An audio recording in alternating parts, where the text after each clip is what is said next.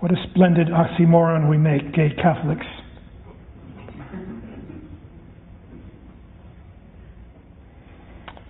Sometimes I think to myself in bed at four in the morning in the promised land, sometimes I think, I'm sorry to be giving up being a leper, being a publican, being a whore, being the woman at the well, the, the woman at the well, being a Samaritan. There was great wisdom in being able to be the outsider. You know what I'm saying? And, and a great possibility for compassion for others who are on the outside. As we start becoming Iowa, I don't want to lose that sense of being the outsider. I want to be a Canaanite with Jesus. I want to be the stranger in the crowd. I fell in love with Jim because he was a Samaritan. He was the Good Samaritan. We were both ministering to a friend of ours who had a terrible, terrible time at the end, dying of AIDS. And his, this man's right leg had become so uh, wounded and, and diseased. The stench of it was overwhelming. Like nothing, I've smelled corpses, but nothing like this anybody, the nurses at, at, at uh, St. Mary's Hospital wouldn't even change the, the dressing at the end. So there, of course, was Jim. I was gagging, and Jim was doing what Good Samaritans do. It's like being married to St. Francis.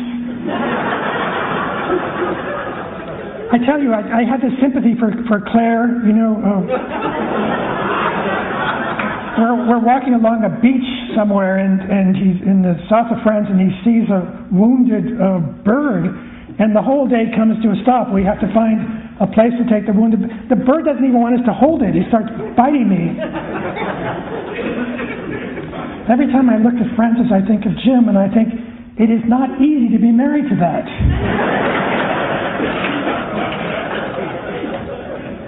Jim used to own, I, I told the story at the call to action. It's a true story about Jim. He was horrified that I told it to them. I'll tell it to you. Tough luck, Jim. Um, my my lover. He um, he used to own a bookstore over on Tillman Place, which is a little alley off of Grant Avenue. It's a really good bookstore. Used to have very very good customers.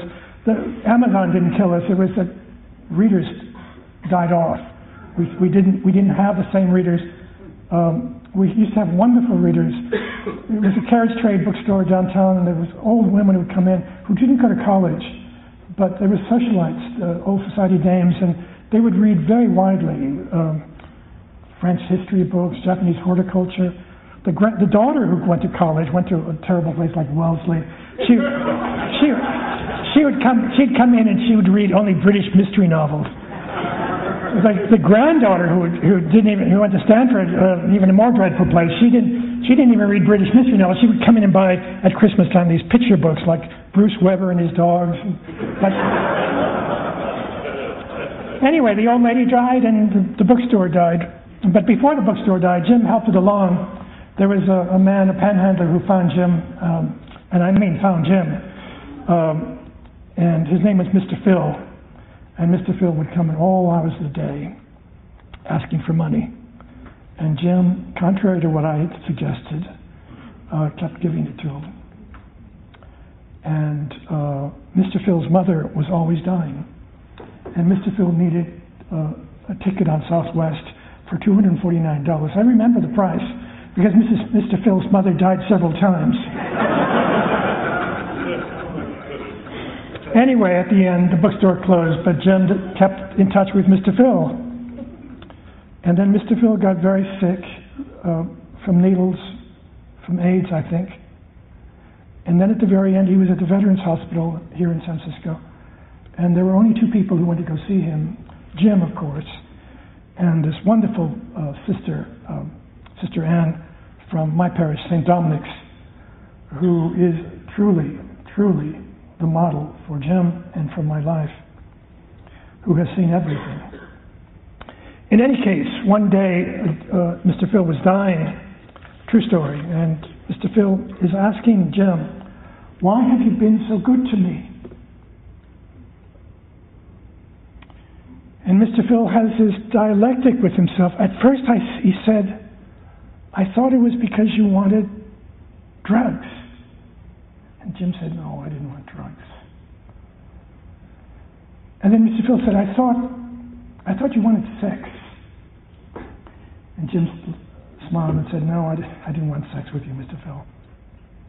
And then Mr. Phil said, And now I realize what you wanted.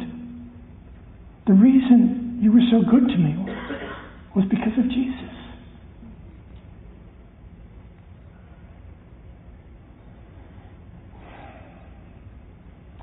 The irony of the promised land is that the church that taught me to love tells me that it is not love that I feel in the morning at four in the morning at the American Colony Hotel. It is a vanity. It is a lifestyle.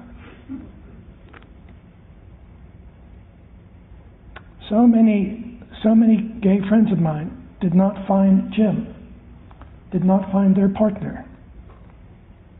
Some of the brightest people I know, the most gifted, could not find each other. It is one of our little tragedies. So many of us do not die married, appealing for marriage. So many of us do not think of ourselves in those terms. It is a great gift to have found a partner, a lover, to have found one's way through this forest, this homosexual forest. I said to my confessor, a Dominican priest, when I was facing very serious cancer, four years, five years ago, this month, I said to him, confessing my first confession, blessed be Father, I have not confessed for 34 years. I said to him, I don't think I can confess to you that I'm gay. He said to me, I don't want you to confess that. I said to him, It is in being gay that I found out what it means to be in love. What, I, what, it, what, I, what it means to love. To love another person more than myself. And he said to me, He who has given his life to silence and celibacy said to me, I envy you. Thank you very much.